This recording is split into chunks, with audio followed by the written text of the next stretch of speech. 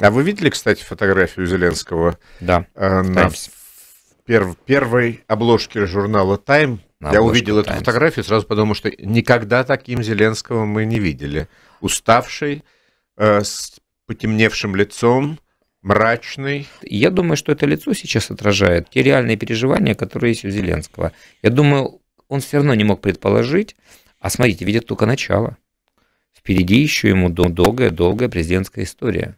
Но, к сожалению, я пока не вижу обнадеживающих и оптимистических. Кстати, а какая самая большая вещей. проблема? У него? Да. Я вам скажу.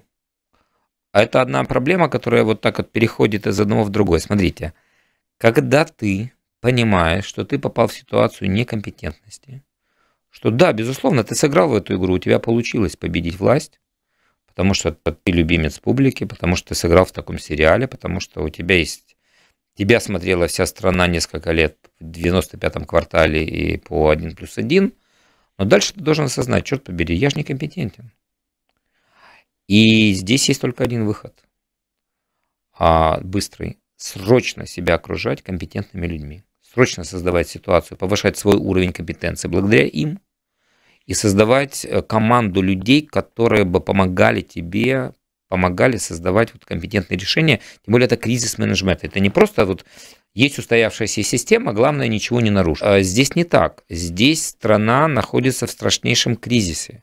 И второе твое умение, с которым должен быть справиться, подобрать эту команду. Это непросто. Она есть. Ее надо собирать. Это люди неудобные. Это люди, выглядящие порой как городские сумасшедшие, потому что они же визионеры. Я вообще вот удивляюсь, как это когда-то Михаил Саакашвили, слушая а, абсолютно оторванного от грузинских реалий а, Каху Меднукидзе, сказал, а идите к нам министром экономики.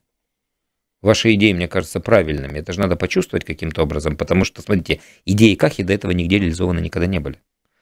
Здесь надо было поступить таком же. Вместо этого он окружает себя очень быстро друзьями и знакомыми, а дальше начинает выбирать людей, которые демонстрируют лояльность. Вот они говорят, мы лояльны к тебе, смотри, да, друзей друзей. А кто оказывается лояльным? Тот самый средний сегмент, который уже в этих властных структурах многие года сидит. И я всегда шутил и говорил, друзья мои, новые люди, это не то, что, это, ну, мне так, ранее неизвестные люди, это не новые люди, просто ранее мы их не видели, они не были очень публичными. Угу. Вот. И там появляется Архамия э, и другие персонажи, которые себя неплохо, Маркарова, которые себя неплохо почувствовали в, в прежнем, угу. при прежней власти. А, а, два неумения – осознать свою некомпетентность и приобрести, повысить уровень компетентности и окружить себя компетентной командой.